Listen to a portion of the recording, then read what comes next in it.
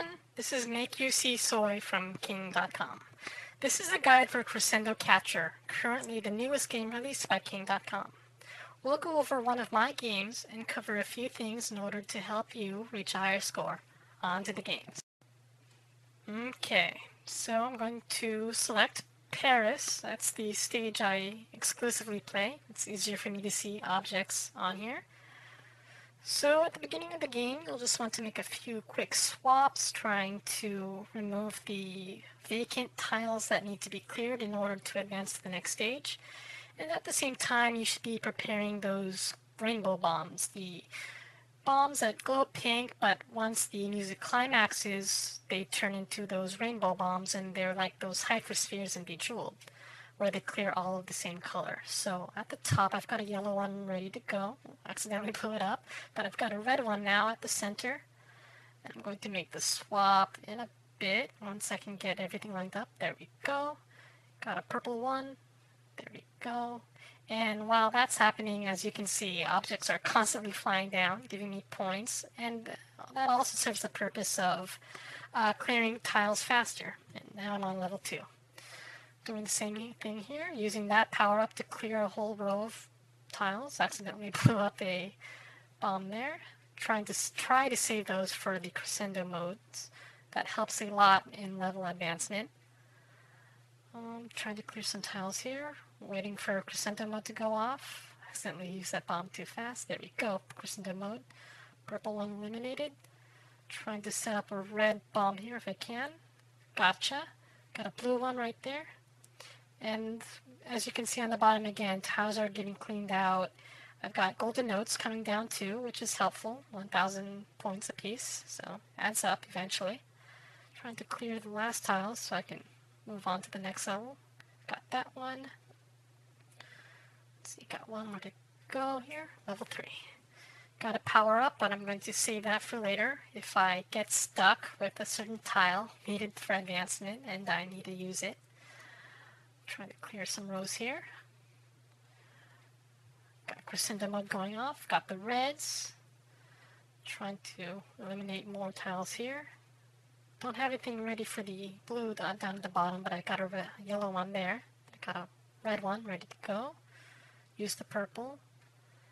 And now I just want to move on to the next level. So I'm going to be removing the last tiles needed to advance. I'm going to use my power up there, level 4. Same idea here, trying to advance to the next level just by clearing those tiles as fast as possible. Try to work the bottom first if you can, just so that things also chain and swap at the top. This work for you. Waiting for crescendo mode here. Got the yellows. Ooh, the green one accidentally blew up, but I've got a blue one here, ready to go. Oh, huge explosion. Messed that up too. It's okay. Trying to clear those last tiles if I can.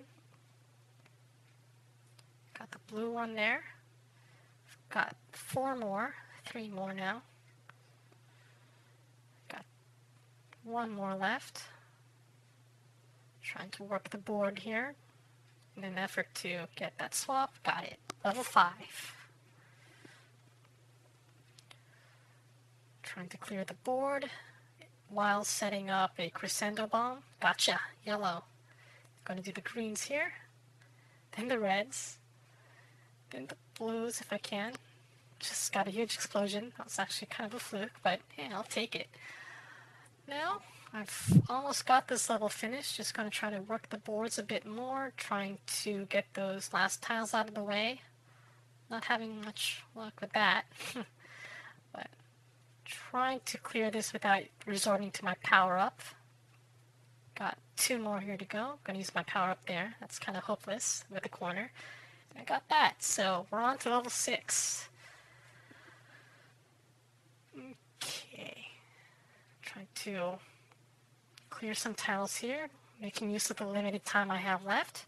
Since I get 200 points per every vacant tile removed, um, definitely going to help me reach a higher score as time winds down and I probably won't get another crescendo mode so my sole goal here is to remove those tiles as fast as possible while the clock's ticking down and that's about it.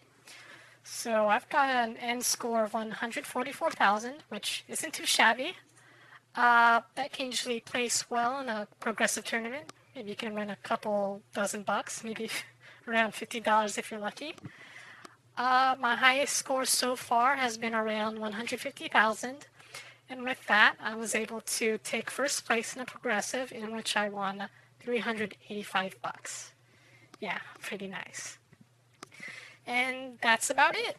Uh, if you have any questions, feel free to message me directly at king.com. Again, my name is Meikyousisui. Uh, I post quite often in the blog, so if you can't spell out my name, uh, you'll find me there. Or you can just shoot me a direct uh, message email to my Cash Gamers channel, which I check every day, and I'll get back to you quickly. Okay? See ya. Good luck.